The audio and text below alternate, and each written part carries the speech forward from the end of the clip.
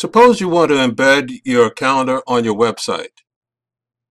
This is how you would do that. You take your mouse and click over on settings.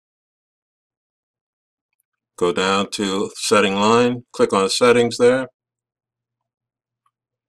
Then you go over to calendars. You click on calendars, find the calendar you want to work with. Going to click on Dustin Garza's calendar to embed it. We follow these instructions, which is to cut and paste this embed code on your website and your calendar will appear.